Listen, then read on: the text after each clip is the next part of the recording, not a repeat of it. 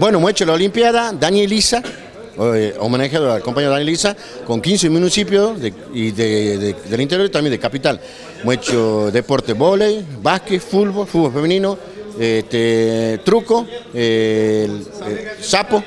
Así que ha sido una jornada hermosa. La verdad que nosotros la primera vez que hacemos una Olimpia de 15 municipios, no, creo que no lo hizo ningún gremio, pero lo bueno es que ayer hemos jugado la final en el cancha Juventud,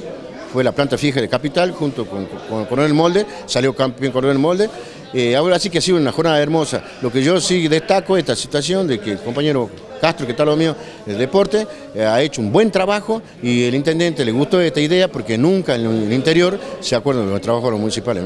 Bueno, esto concluyó con entrega de premios, también ya se ha realizado esta entrega hoy, ¿no? Sí, hemos entregado los premios, ha habido premios, ha habido este, medalla, ha habido este, plata en efectivo,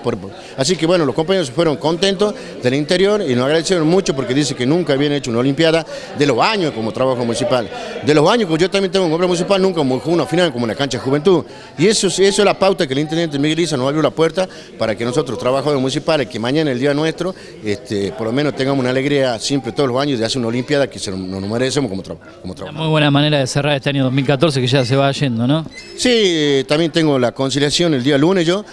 por el tema que había el otro el problema acá en la municipalidad, este, planta permanente, pasa planta permanente, eh, estamos peleando para la estructura inferiores, queremos ver el monto de la ayuda social para el aumento salarial, así que yo el lunes estoy en la conciliación a las 9 de la mañana en el Ministerio de Trabajo y bueno, cerrando también el tema de, de los sueldos y viendo todos los temas que están pendientes de los trabajadores municipales. ¿no?